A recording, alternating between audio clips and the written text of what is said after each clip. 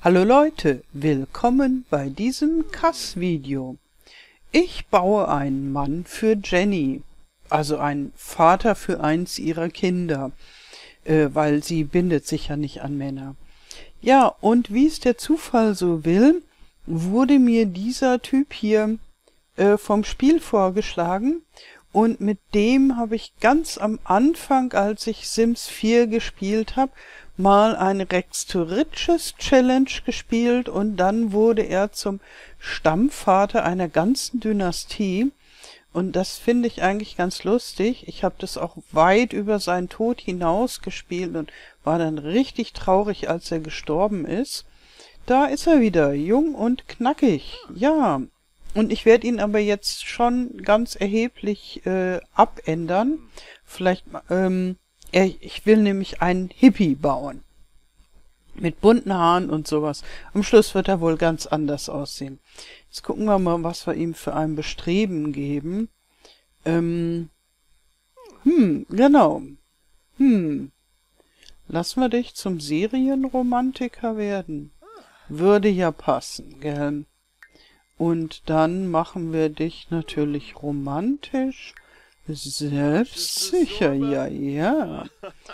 Und vielleicht fröhlich. Der Stammvater, den ich hatte, das war ein ganz anderer Typ. Aber er sah genauso aus. So. Jetzt würde ich sagen, wir setzen dir erstmal die Brille ab. So.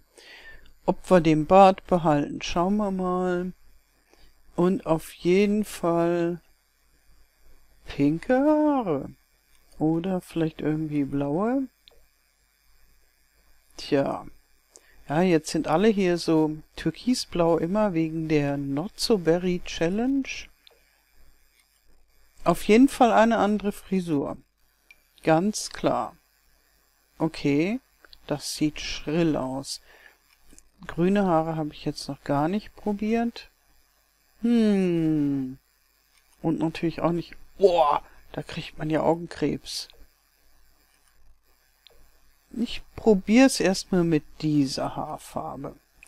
Und ich glaube, da unten sind klar auch so mehrfarbige Sachen. Hm. Ja, braucht man eigentlich nicht, wenn man...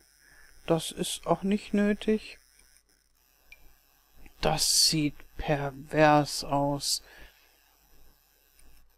Jo. Der Iro, ja, wenn man so eine blaue Farbe hat, sind auch die mehrfarbigen Haare einfarbig. Aber in Iro muss es jetzt nicht unbedingt sein. Schauen wir mal nach den netten Langhaarfrisuren. Das ist so ein bisschen langweilig, aber das geht. Und dieses hier... Ja, sieht so aus wie so ein Künstlertyp. Auch nicht schlecht. Und das hier...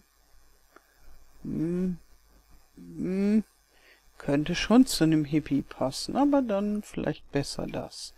Noch länger hätte ich sie gerne. Und das hier wäre jetzt natürlich so eine Vampirfrisur. Ich glaube, Hippies hatten nicht solche Frisuren. Das ist krass. Das ist super krass. Hat aber was. Oh. So wäre er so ein Naturtyp irgendwie mit verschiedenen Grünhaartönen. Und so, hm. Tja. Ich glaube, mit dem Pink kann ich mich nicht ganz so anfreunden. Das Grün finde ich ganz abenteuerlich. Und dazu passt tatsächlich auch so ein Bart eigentlich. Ich guck mal, ob ich da auch noch einen finde. Hm, der ist fast besser. Oder dieser hier? Ja, warum nicht? Gucken, was es sonst so gibt. Dieser hier ist auch. Nö. Nö. Dann lieber der war es auch nicht. Den hatte ich, glaube ich, zuletzt. Ja, so Marke Vollbart, aber nicht ganz so wuchtig wie dieser Großvaterbart. Ja. Jetzt gucken wir mal. Huch, die Maus. Okay, jetzt. Oh, ein Zylinder hat er da auf. Also ich will nur checken, ob er hier irgendwelche Brillen auf hat oder sonstige Sachen. Nö. Okay, dann kümmern wir uns mal um seine Alltagsbekleidung. Ich finde, er sieht schon ganz anders aus. Vielleicht der Hautton ein Tick dunkler. So, ne, so ein bisschen käsig. So vielleicht, ja. Okay. Ja. Was sagst du dazu? Gucken wir mal, ob wir irgendein ziemlich ausgeflipptes Hippie-Outfit äh, finden. Das gibt's wohl nur in schwarz. Ja, so bei den Verkleidungen sind ja einige schrille Sachen und auch bei den bei den äh, Großstadtklamotten ist einiges dabei. Also ein bisschen steif, gell? Ja, sowas könnte man vielleicht für die Feiertage nehmen. Und dieses, das wird schon eher passen. Hm, genau. Hm, würde ich auch sagen. Jetzt gucken wir mal die Farben durch. Ist ein bisschen zu rot. Ja, ich meine, so Natur-Hippie-mäßig finde ich das fast noch besser. Dann, die Schuhe sind eigentlich in Ordnung. Die Socken müssten wir dann aber etwas anpassen. Zumindest farblich. Hm, sind das die? Okay, das passt jetzt nicht so gut. Das schon besser. In welchen Farben gibt es die? Ja. Nehmen wir die. Okay. Gut. Ja, weil ich da noch mehrere andere interessante Outfits gesehen habe, kriegt er noch ein Zweitoutfit. Und da probieren wir mal eins von diesen hier. Oh, das ist schon richtig schick. Naturhippie-mäßig. Also nicht so ganz Natur, aber so in der Richtung. Oder das? Ja, cool. Ich glaube, ich nehme das. Das ist schon ein echt ausgeflippter Typ. Genau so wollte ich ihn haben. Und den guten alten Mirko erkennt man praktisch nicht wieder. Was in Ordnung ist. So, jetzt gucken wir mal. Oh, ist das cool. Gibt's den Hut auch noch in einer anderen Farbe? Hm, in Rot? Na, wenn dann so. Oder in... Na, das Grün passt nicht zur Haarfarbe. Oder dieses. Das sieht natürlich richtig ausgeflippter. Ja, ich denke mal so. so lasse ich sein erstes Abendoutfit und dann mache ich ihm noch ein zweites, weil es gerade so einen Spaß macht. Da war doch dieses City Living Dingens. Okay, das ist wohl nicht bei der Abendkleidung, obwohl es so schön steif wirkt. So, dieses da, genau. Gucken wir mal, wie das in grün kommt. Das beißt sich mit der Haarfarbe.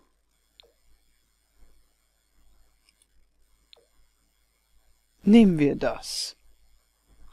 Wie krass.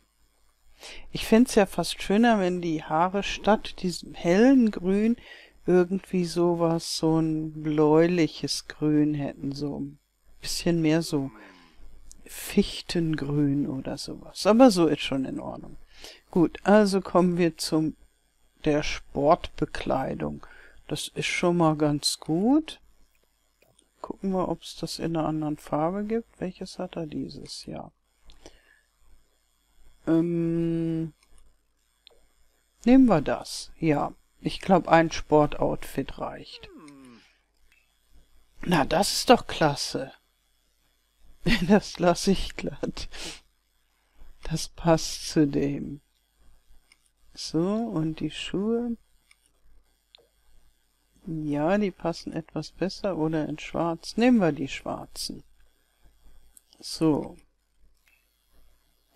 Ich frage mich, ob die Kinder auch die bunten Haare von den Vätern erben. Bei roten Haaren und so passiert das ja. Aber ob auch solche, ähm, solche krass bunten Haare vererbt werden. Wie sieht denn das? Holala. Ja, das ist ja cool. Das kenne ich noch gar nicht. Gut, ich finde, das ist für einen Hippie sehr schön feierlich. Also, ihr seht bestimmt, das ist kein mh, mm, so richtig klassischer Hippie. Das ist halt ein... Ja, was bist du für ein Typ? Du machst dir deine Mode selber, gell? Und ansonsten ist er Hippie inspiriert, sagen wir mal so. So. Ja, das passt fast zur Haarfarbe. Okay. Gut, lieber Mirko. Jetzt gucken wir mal wieder dein Hauptoutfit. So, Nummer eins. Ja, das sieht gemütlich aus. Und wir überprüfen noch einmal, ob wir dir wirklich diese Haare geben. Wie wär's denn? Ja, das ist so wie der wie die verschiedenen Omas. Oh, das ist auch cool. Das gefällt mir noch besser. Das ist sehr cool. Jetzt gucke ich mal, ob das zu seinen ganzen Outfits passt. Ja. Ja, würde ich schon sagen. Okay. Gut. Wie findest du dich, Mirko? Gefällt's du dir so? Sind deine Eigenschaften genehm? Ich meine, wer will nicht romantisch, selbstsicher und fröhlich sein? Wir könnten dich natürlich zum Künstler machen. Ich glaube ja, wir machen dich zum Künstler. Du kannst ja trotzdem romantisch bleiben, weil dann hast du auch noch außer der Liebe noch was anderes zu tun. So, wo haben wir denn die Kreativität? Und dann bist du ein herausragender Maler. Ja. Und dann lassen wir dich vielleicht statt selbstsicher lieber kreativ sein. Uh, ah, ja. Ist das genehm? Da müssen wir dir eine Staffelei besorgen, da wo du hinziehst. Ja, also dieser Mirko, der ist ähm, der achte eines Haushalts mit lauter potenziellen Vätern für Jenny, für die 100 Baby Challenge, und er soll aber der Namensgeber des Haushalts sein, nämlich Zeus, wie Zeugen. Das sind nämlich nicht nur Väter, sondern da sind auch zwei zeugungsfähige Frauen dabei. Und darum kann ich nicht sowas wie Männer-WG oder so machen, weil es ja nicht nur Männer sind. Und darum heißt die Familie Zeus. Ja, und ich werde jetzt gleich im Anschluss ein Video drehen, wo dann er zusammen mit sieben anderen Männern, die ich von euch gekriegt habe, von euch Zuschauern und über die ich mich sehr freue, werden die zusammenziehen in ein ganz tolles Haus von Devon Bumpkin. Und das Video werde ich gleich als nächstes drehen. Und dieses Kass-Video ist hiermit fertig. Genau. Ja, ich wünsche euch noch einen wunderschönen Tag. Vielen Dank fürs Zuschauen und alles Gute bis zum nächsten Mal. Tschüss.